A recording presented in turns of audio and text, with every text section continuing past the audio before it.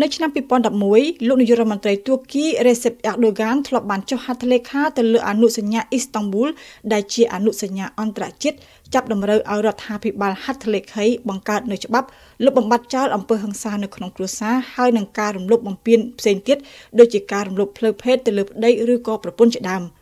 ក៏ប៉ុន្តែ10ឆ្នាំក្រោយគឺលោករេស៊ីបអាដូហ្គានខ្លួនឯងដែលពេលនេះបានក្លាយជាប្រធានាធិបតីទូគីបានសម្រេចដកទូគីចេញពីអនុសញ្ញាអ៊ីស្តង់ប៊ូលនេះមកវិញលោកប្រធានាធិបតីអាដូហ្គានបានចេញក្រឹត្យដើម្បីដកទូគីចេញពីអនុសញ្ញាអ៊ីស្តង់ប៊ូលគឺនៅបន្ទាប់ពីមានសង្គ្រាមប៉ាកាហើយនឹងការទាមទារខ្លាំងពីខាងក្រុមអភិរក្សនិយមទូគីដែលបានចោទប្រកាន់អនុសញ្ញាអ៊ីស្តង់ប៊ូលនេះថាជាដើមហេតុបំផ្លាញសុភមង្គលនៅក្នុងគ្រួសារ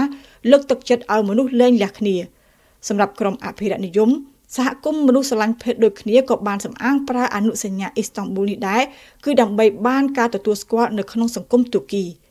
គេអាចតវ៉ាប្រឆាំងទៅនឹងក្រឹតប្រធានាធិបតីពីព្រោះថាទៅតាមច្បាប់ប្រធានាធិបតីទូគីមិនអាចលុបចោលច្បាប់ដែលអនុម័តដោយសភារួចហើយនោះទេក៏ប៉ុន្តែសម្រាប់អ្នកជំនាញលោកប្រធានាធិបតីរេសេបអាដូហ្គានបានចេញក្រឹត្យដកទូគីចេញពីអនុសញ្ញាអ៊ីស្តង់ប៊ូលលើកនេះ គឺនៅក្នុងហេតុផលតែមួយគត់គឺដើម្បីផលប្រយោជន៍នយោបាយ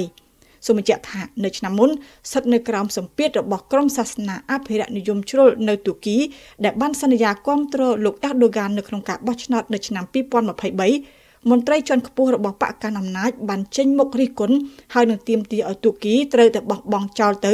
នៅអនុសញ្ញាដែលបានបំផ្លាញក្រុមគ្រួសារទូគីសម្រាប់អនុប្រធានបកប្រឆាំងទូគីដែលទទួលបន្ទុកផ្នែកសិទ្ធិមនុស្ស ការដកទូគីចេញពីអនុសញ្ញាអ៊ីស្តង់ប៊ូលគឺមានន័យស្មើថាទុកឲ្យគេសម្លាប់មនុស្សស្រីទូគីរដ្ឋមន្ត្រីក្រសួងការងារហើយនិងសេវាសង្គមទូគីវិញបានអះអាងថាទូគីគឺនៅតែមានរដ្ឋធម្មនុញ្ញហើយនឹងច្បាប់ផ្ទៃក្នុងដើម្បីធានាសិទ្ធិមនុស្សស្រី ដែលមិនចាំបាច់ត្រូវការជាសមាជិករបស់អនុសញ្ញាអ៊ីស្តង់ប៊ូលនោះទេ សូមបញ្ជាក់ថាអំពើហិង្សានៅក្នុងគ្រួសារហើយនិងអំពើហិង្សាសម្រាប់មនុស្សស្រីគឺនៅតែជាបញ្ហាធ្ងន់ធ្ងរនៅប្រទេសទូគីនៅថ្ងៃអាទិត្យសប្តាហ៍មុនប៉ូលីសទូគីបានចាប់ខ្លួនបរិសម្នាក់នៅបន្ទាប់ពីវីដេអូនៅលើបណ្ដាញសង្គមបានបង្ហាញរូបគាត់វាយអតីតភរិយានៅតាមផ្លូវ